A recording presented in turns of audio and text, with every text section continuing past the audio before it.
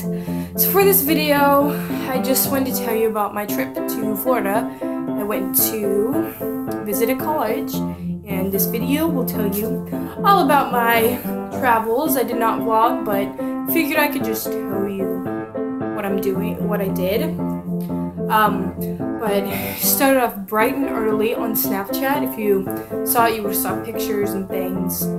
Um, and left at left my apartment at 4 a.m. Left the church we met at at 4:30. We were driving in a bus for eight hours, straight up. Eight hours, just a little less than eight hours, but there was a bathroom on the bus. I did not use it because I'm not going to. I just really don't want to use a bathroom on a bus. You know why. But it was really good because there was 12 girl, well 12 people, um, 11 girls and one guy. It was a volleyball trip.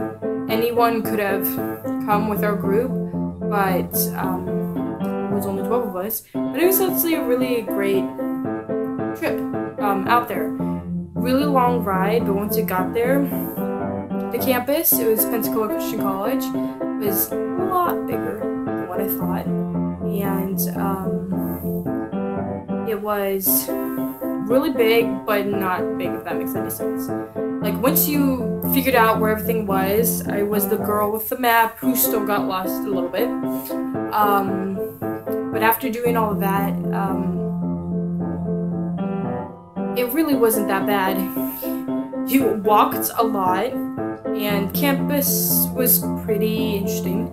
It wasn't like really, really pretty looking, but it wasn't ugly looking. It was just like buildings and greener than some places, but not green enough. And then again, I know of other colleges that aren't green, so that really doesn't matter. But it was really good. We went for a few days, the overall experience was great. I got to know a lot of people. And then the drive back was, I want to say, five hours. We got back faster. It was like five hours, break for lunch for about an hour, and then another five hours. And then we got back on um, Saturday, hurt my back. I um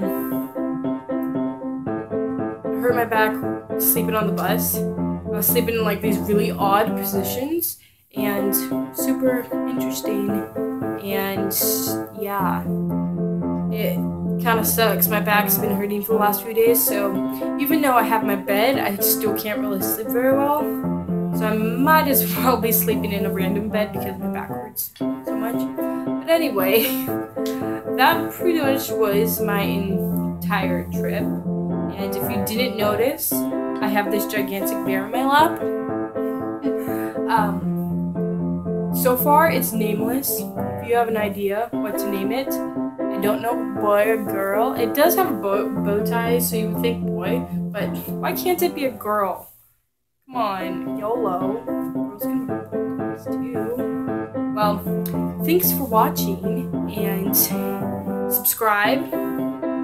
Follow me on all my social media and all of that. And name my bear. Tweet me and tweet me at super underscore 776.